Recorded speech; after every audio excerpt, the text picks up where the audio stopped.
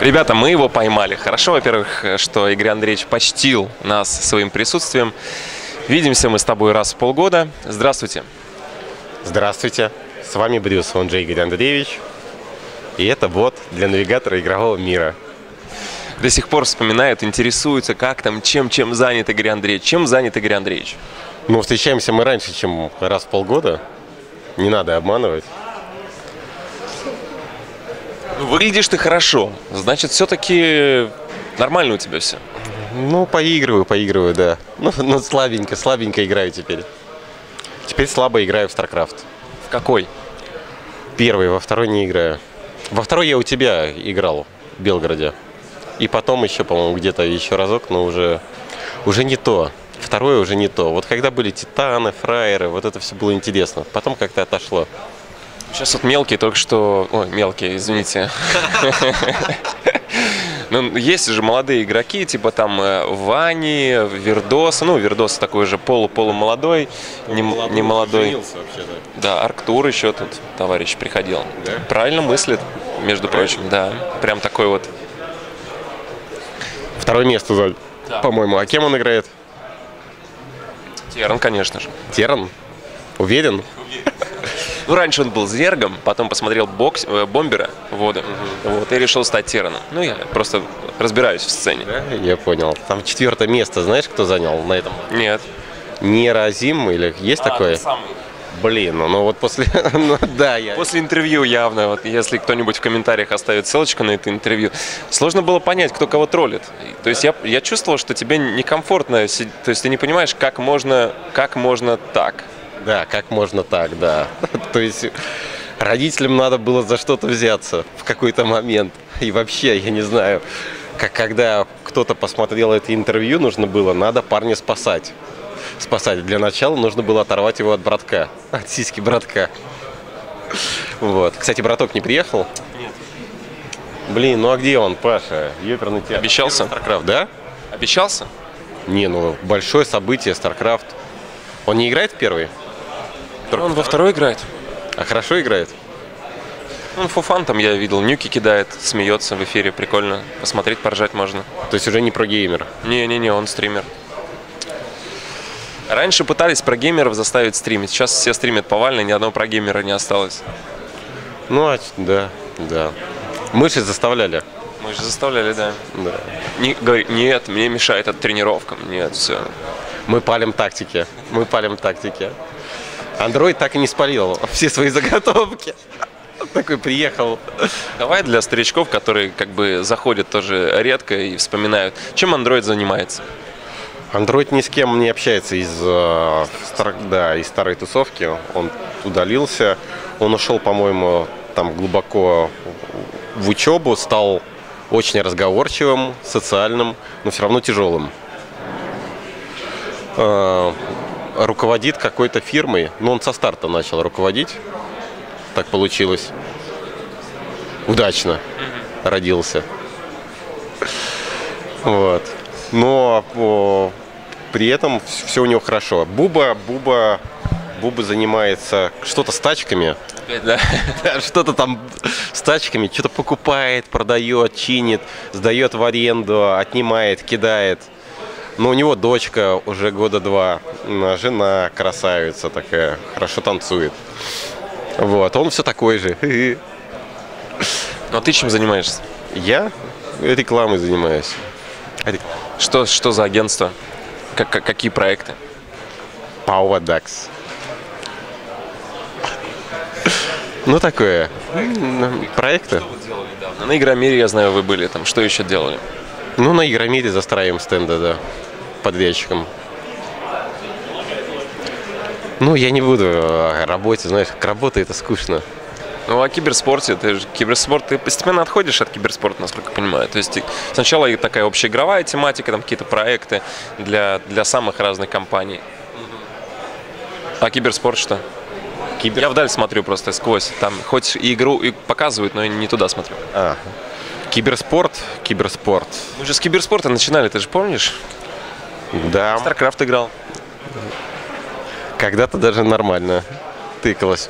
Мне нравилось в М19 зависать. Я тут вспоминал, что может это прийти с баночкой Red Bull, уйти с баночкой Red Bull, зайти в вулкан, выпить бесплатно чай. Да, да, потом Погреться. погре... отогреться и пойти дальше. Да, было весело. Ну, Сейчас киберспорта нет у тебя. Почему? Ну, у меня есть еще команда по Лиге Легенд в российском ЛСЛ. А, В прошлом сезоне мы заняли второе место, потом планировали победить и заняли пятое. Ну, это же игра. Игра, игра, да. Ну там тяжело. А, ну, у меня был игрок, он, он играл, я его нашел, Двипа, бельгиец. Э, отыскал его, и сейчас он играл в финале, в финале чемпионата мира за Fnatic. Ну так, Ты для Fnatic отыскал его?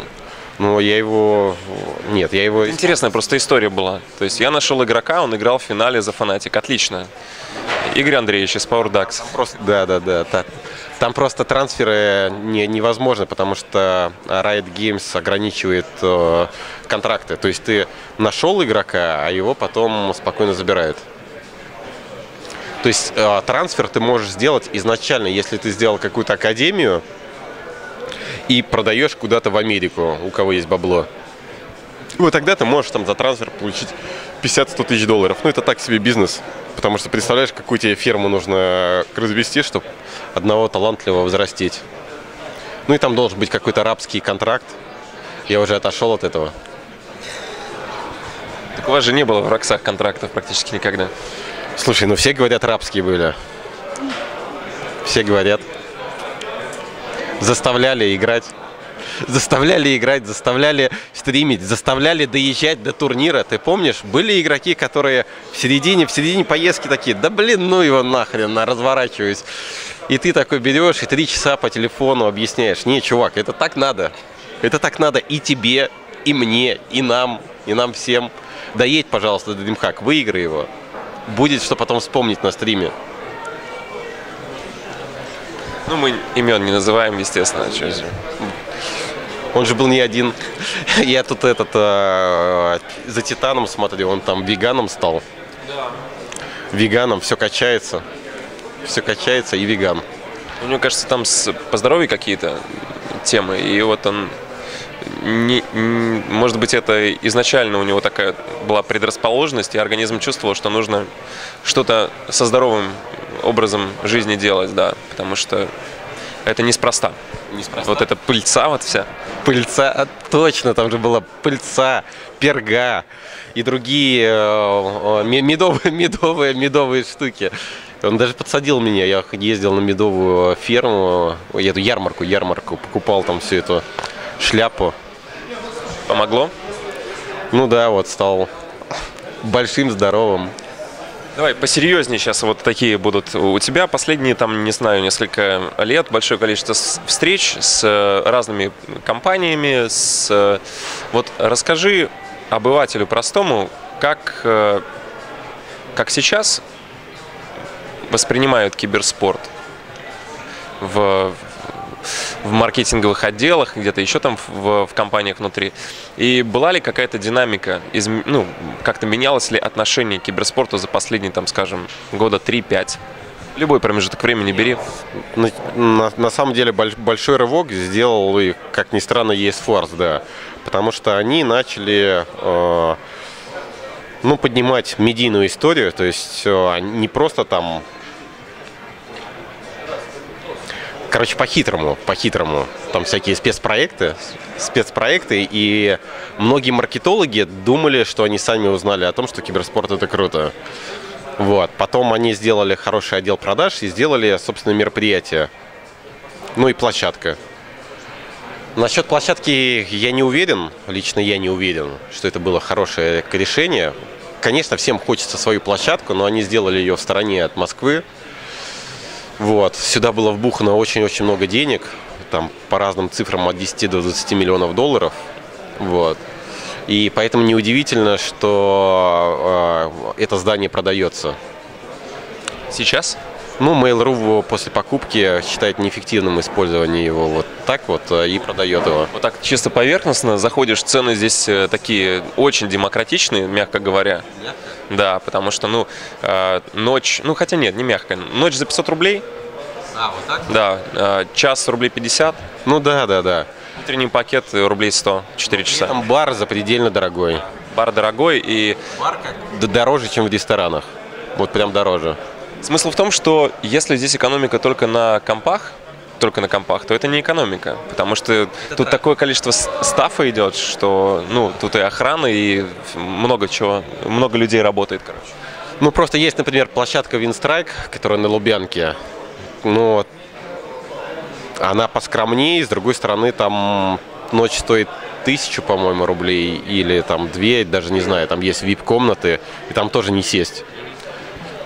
И аудитория там другая, ну то есть там средний чек другой, удобство, удобство, там метро прям вышел, метро, центр, вышел, рядом там Макдональдс и KFC, есть, нужно тебе получше что-то, значит получше. Мероприятия, ну тоже вот здесь проходят, был автопатия, автопатия, чего там, как этот турнир называется, эпицентр, эпицентр. Ну прикольно, прикольно, знаешь за счет чего? За счет караоке. Да, потому что есть определенная тусовка, которая на- научилась петь. Ну, в основном это стримерши. Ну, Twitch организует вечеринку, и он приглашает еще де- девочек с Твича. Девочки с Твича нормально поют обычно. Сидишь, подбухиваешь, слушаешь. Вот, ну и там залетает, а, залетают всякие звезды и начинают тоже петь. Вайтра поет. Я слышал, да. Ну, Ничего не запрещают у нас ретранслировать теперь все, Вайтра уже. Вайтра не тот, не торт. Но зато он на Гавайях сейчас. Да, у него все хорошо. Все хорошо, да. Я тут видел фотографию, где он был ху- худенький еще, это, и я его перепутал с собой. Ну, типа, фотография с Одессы, с буткемпа. Я его показываю, значит, э, своей девушке и говорю, угадай, кто, кто из них я. Ну и там, значит, э, Тебя там не было на фотографии, да? да, но я думал, что это, что я там есть, потому что я же там был. Оказалось, или я фотографировал, или я еще не приехал. И потом на другой фотографии я понял, что тот чувак, который стоял там деловой, э, руки в боки, это Вайтра, худенький. Его вообще не узнать. Он прямо твоей комплекции. И там еще у братка, браток, он тоже тогда был худой, там мы там что-то загорали, и при этом у него кубики, кубики были. Ну прямо он такой. А потом он раскабанел в какой-то момент. Это произошло, я помню, первый раз увидел на турнире, блин, где же это было, на выставке какой-то. А, там четыре человека участвовало, комментаторская наверху. Помнишь, да, да, первый да. раз он появился. Типа от ФКС, типа от ФКС турнир, вот в каком-то этом многофункциональном... МФЦ, да, ну, не МФЦ, МФЦ, да, да, да. Да, вот тогда как раз он фо, там что-то четвертое. Он мог уже не браток, а братище, ну, что-то такое. Прямо он большой был. Ну, за киберспортом ты сейчас ты следишь, что тебя интересует? То турниры смотрю, так КС стал, так слежу, что там Нави то выигрывают, то проигрывают. Символ вроде как э, этот главная звезда. Главная звезда. У меня даже фотографии с ними есть, представляешь? Симплом, представляешь? Я, к сожалению, так слышал просто по новостям, заголовки Не, ну читаю. Он жесткий, он жесткий. Может быть, даже самый жесткий. Сам во что играешь, кроме первого StarCraft?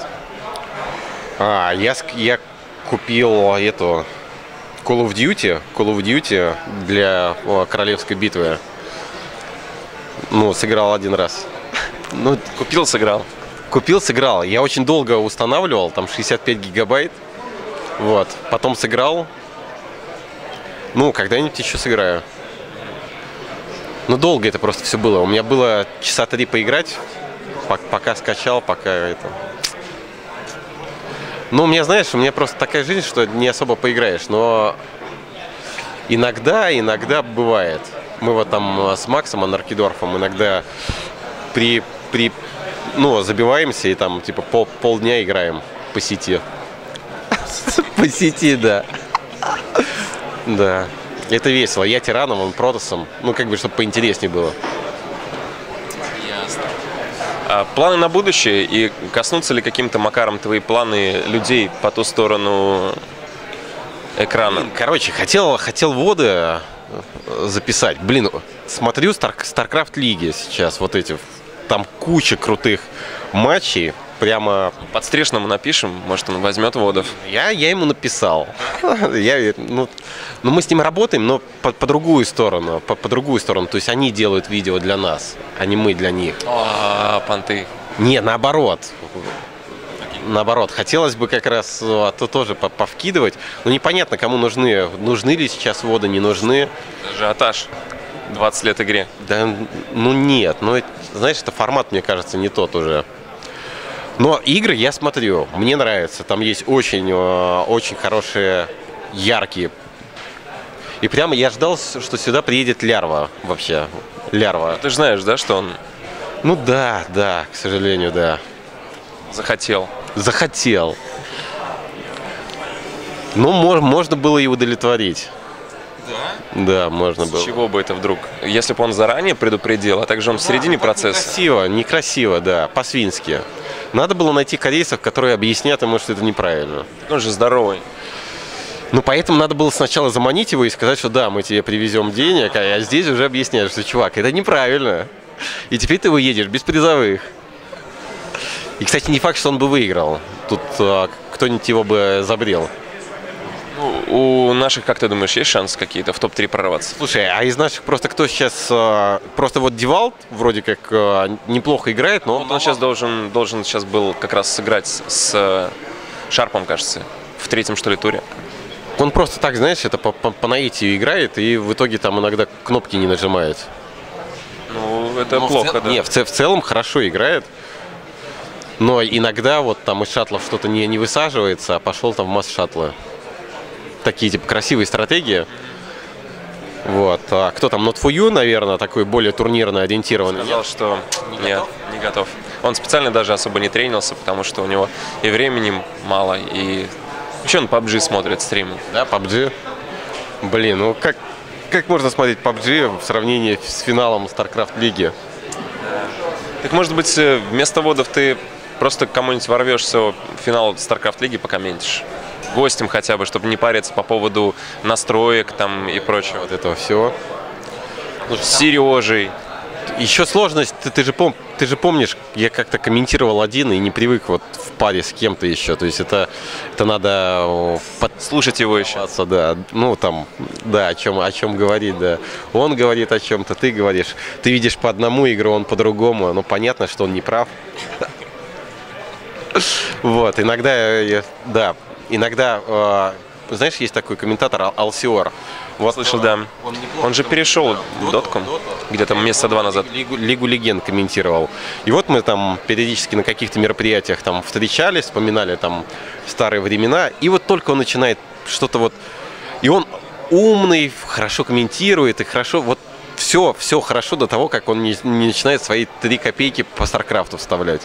Потому что ты думаешь, блин, чувак, ну ты до сих пор как бы не допер, что вот это не так. Ну вот, а, и, та- и там же оно не просто не так, ты или как, ну там есть такие поды- по- подэтапы видения. То есть, если ты видишь это, то ты вообще ничего не видишь. Вот, и, наверное, в этом плане Ты не готов ни с кем комментировать USL. ОСЛ, но и, о, я просто не, не слышал русских комментариев. Я слушаю Тейстлиса Артосиса, но они попсово, поп- попсово, очень попсово. Там не- они просто говорят, чтобы говорить, что тут что-то происходит. А этот вот сейчас, вот оп, оп. Они уже который год там. Надо их понять. Ну, я вижу, Тяжело. Тяжело, тяжело. Нет, они делают это профессионально, но они делают там не совсем... Ну, то есть мне...